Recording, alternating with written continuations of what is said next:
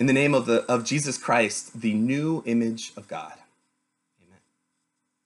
This week we continue with our sermon series from the first three chapters of the Bible, from Genesis, in which we see the foundations of the faith and really the foundation of the rest of the Bible. Last week we discovered the mystery of the Trinity and that we are always able to, to continue coming to know Him and what He has done for us through the scriptures. Today we return to that creation and to those verses at the end of His creation in which we see the, the only part of His creation that was made in His image, in the image of God. And we see God creating humans, and this is how it went. God said, Let us make man in our image, according to our likeness, and let them have dominion over the fish of the sea, and over the birds of the sky, and over the livestock, and over all the earth, and over every creeping thing that crawls on the earth. God created the man in his own, own image, in the image of God. He created him. Male and female, he created them. God blessed them and said to them, Be fruitful and multiply, fill the earth and subdue it, have dominion over the fish of the sea, over the birds of the sky, and over every living thing that moves on the earth. So, from these verses, there are a few things, there are uh, a few important parts to make note of.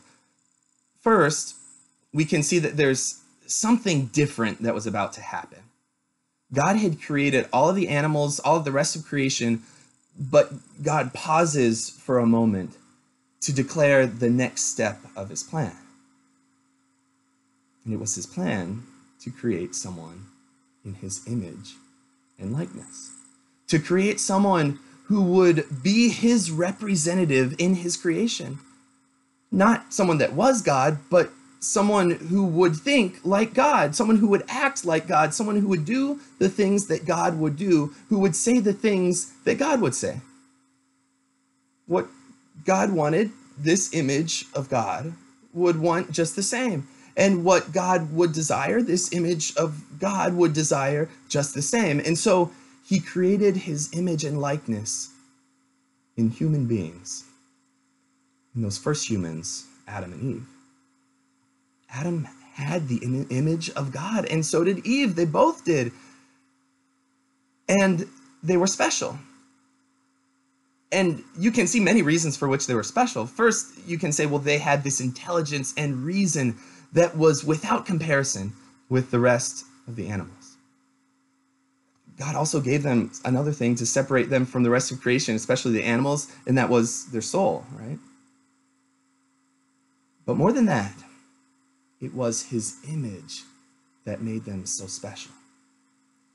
They had this perfect harmony with their creator, a, a, perfection in their wisdom, in their thoughts, in their actions, in everything they did, everything that they stood for.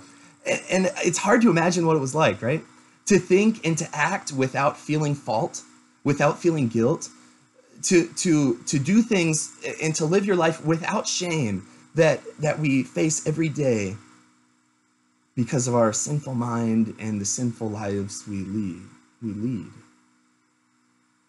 I can't imagine the, the meaning for them of being these leaders and these stewards of God's new creation and the pride that would have that they would have had when they would have done something perfectly that God asked them, a work of God in this perfect way, and then they would have gotten this response, "Well done, good and faithful servant. You've done exactly what I wanted."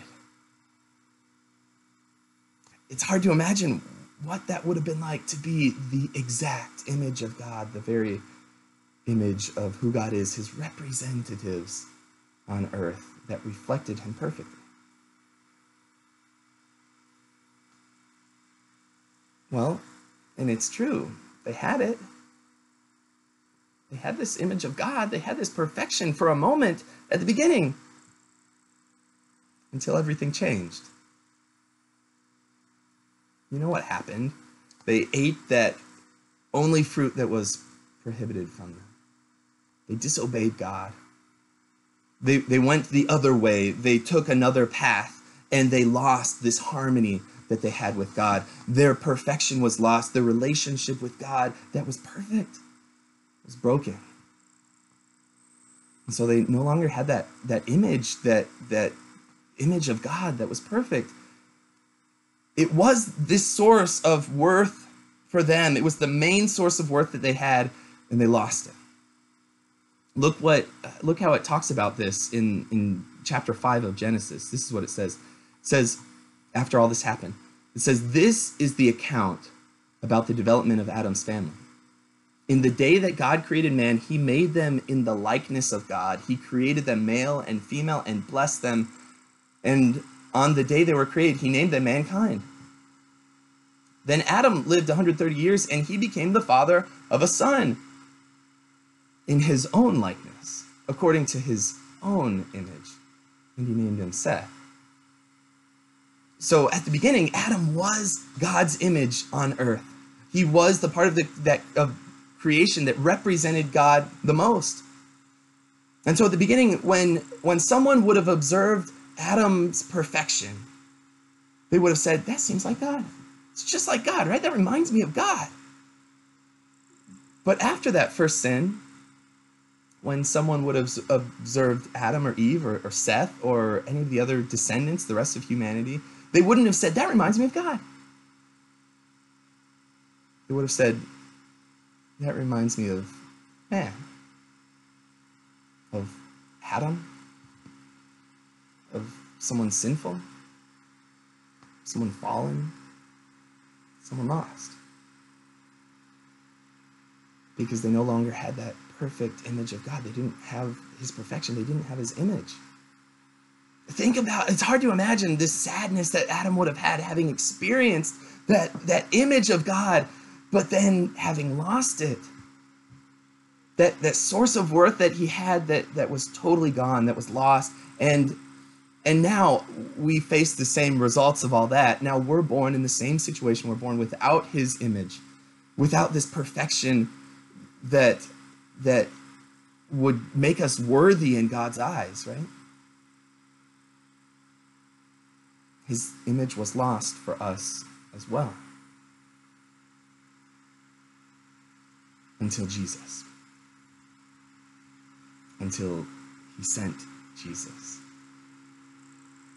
until that point when God gave us another source of worth that is greater and even more important, not just to Adam, but for the rest of humanity as well.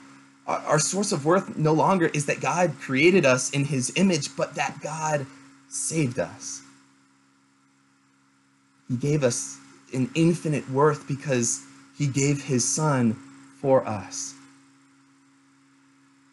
That was a, sacrifice that was infinite. That was the sacrifice of God.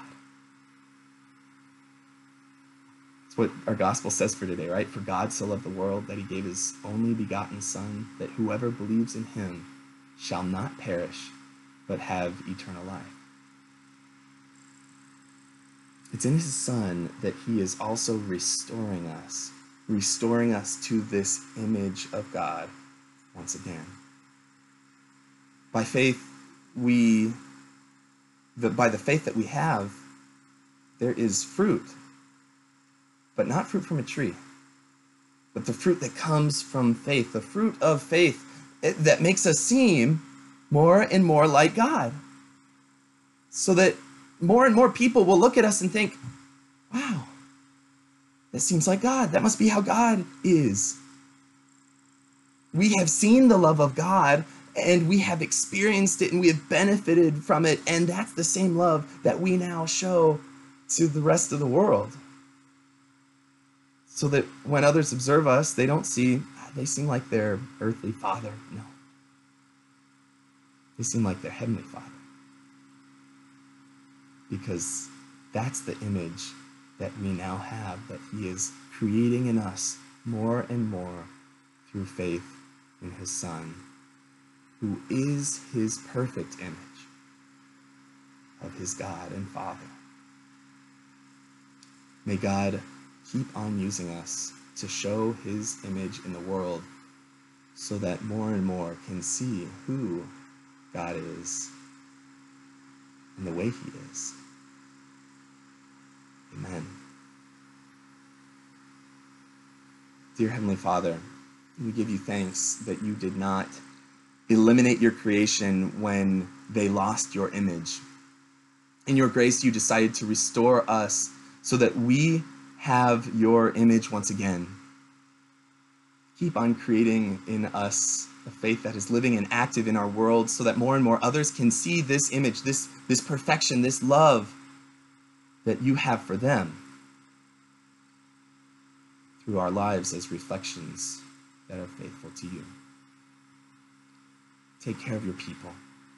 Keep us safe in your hands, in our bodies and in our souls, up until that last day when your Son will return to bring us with him to heaven, when we once again will have that image that will be perfect and complete, the image of God in us, through Jesus Christ, who lives and reigns with the Holy Spirit and with you.